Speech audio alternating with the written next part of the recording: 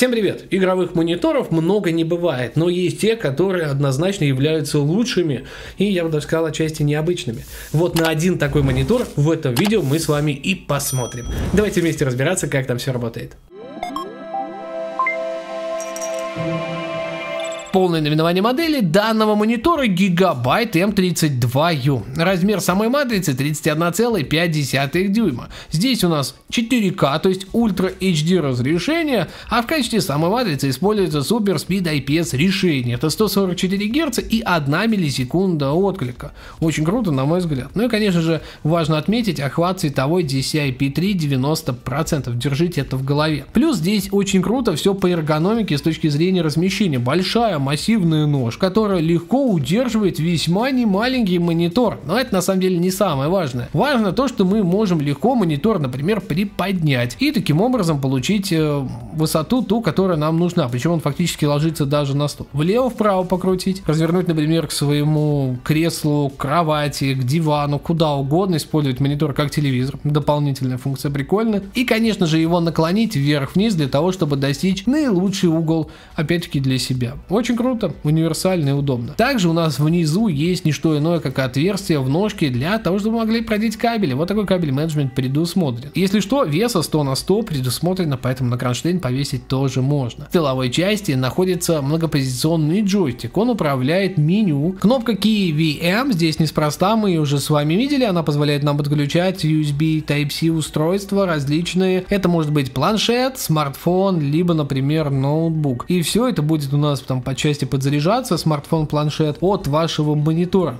То есть максимально удобное полноценное подключение всех девайсов, при этом все, что подключено, соответственно, к монитору ради мышки и клавиатуры, будет опять-таки работать и на тех устройствах в том числе. Но, естественно, само меню максимально простое, интуитивное, понятное, крайне удобное, русский язык есть, и в целом вы можете управлять всем действительно интуитивно, быстро, вот буквально в пару тройку. И управлять вы можете всем действительно очень просто и быстро. Есть и быстрый доступ к самому меню. Таким образом вы можете, например, вверх джойстик просто поднять и получить доступ к определенной функции. Влево там звук прибавить, убавить и так далее. Акустическая система в данном мониторе присутствует, что тоже круто, потому как звучит он хорошо. Во всяком случае, это, пожалуй, лучший звук вот встроенный в монитор, что я вообще видел. Из дополнительного по портам с тыловой части стоит выделить два HDMI 2.1, DisplayPort и USB Type-C, а также возможность подключения хаба, соответственно здесь тоже USB. А вот USB 3.0 у нас выходы, они могут использоваться еще и для быстрой зарядки ваших мобильных гаджетов, такая функция здесь тоже поддерживается.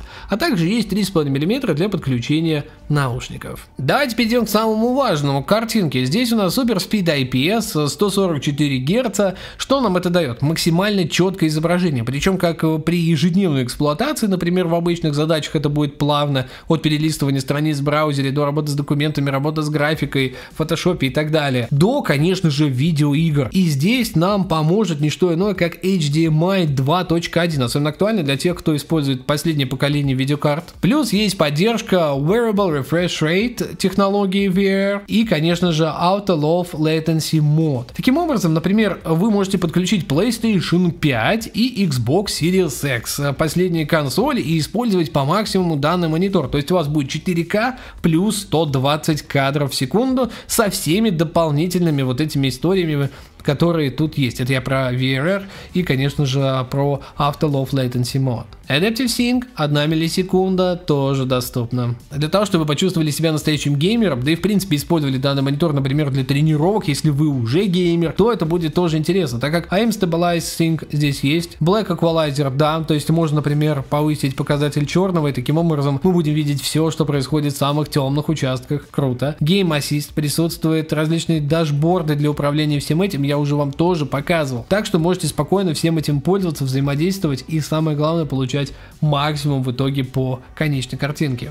Я хоть вскользь упомянул, но все-таки, наверное, стоит отметить то, что HDR тоже присутствует. Так что можно использовать именно там, где вы хотите. Либо при ежедневной эксплуатации, например, либо только в играх. Монитор показал себя как максимально универсальное решение для подключения как в любых устройств, вообще абсолютно вроде вашего смартфона, планшета, ноутбука, до вашего ПК, конечно же, и консолей нового поколения. Кроме этого, вы также получаете различные технологии, которые защищают ваши глаза. Это ESA, который мы не раз видели в различных мониторах, она действительно помогает снижать нагрузку на глаза, а также технологию Flicker Free, которая снижает вот то самое мерцание, таким образом вы можете долго смотреть монитор не испытывать дискомфорта, что вдвойне важно, если этот монитор игровой. Мне этот монитор реально понравился, здесь максимум технологий в своей нише и очень достойный ценник с точки зрения того, что никто не стал здесь выставить каких-то запредельных сумм. Этот монитор ровно стоит столько, насколько в нем много технологий. Хотя, что там, технологий там даже гораздо больше. Давайте переходить к итогам. По итогам гигабайт сделать почти невозможно. Это фактически идеальный монитор как для жизни, так и для работы, ну и, конечно же, в первую очередь для игр. С высоким разрешением, со всеми возможностями и универсальный. То есть его можно спокойно заюзать как с консолями нового поколения, получить максимум от картинки, так и с вашим ПК. В общем, я реально рекомендую. Актуальную цену чекайте по ссылкам в описании, а также она будет прикреплена в комментарии. Большие пальцы вверх ставьте, на канал подписывайтесь, внизу есть красная кнопка, она обязательно должна стать серой, и несколько дополнительных роликов здесь. На колокольчик тоже нажимайте два раза, не пропускайте, давайте, там тоже есть.